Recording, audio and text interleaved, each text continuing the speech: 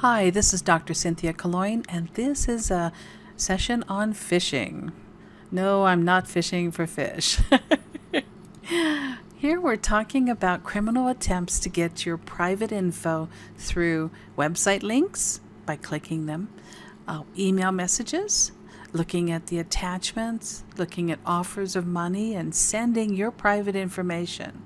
There could be a warning message, saying you must update your login, your password, your bank account, your give us your stuff, right?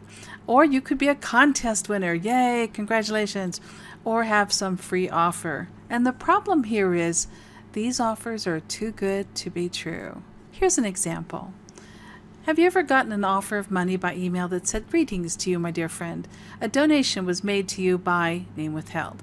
I'm a businesswoman. The, the, the, email sender will identify themselves, and then there'll be a misspelling in the letter.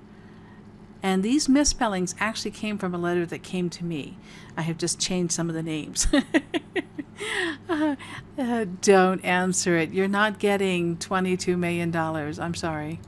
Next, here's a condolence email phishing example. And this the sad thing about this one is I just lost a friend and of course get this message, right? I've changed some of the info and it, there is no Shady Rest Funeral Home. But you see here, they want me to click that little here, and when I do, they've got me.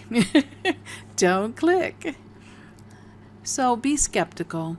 Read and see if the message is authentic.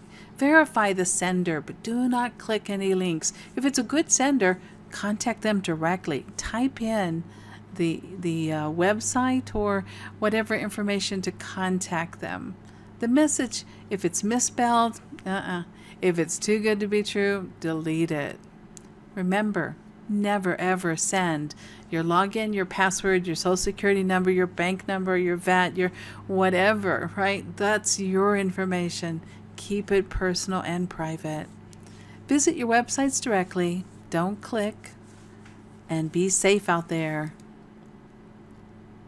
This is Dr. C wishing you a great time online and stay tuned for the next episode. Bye bye.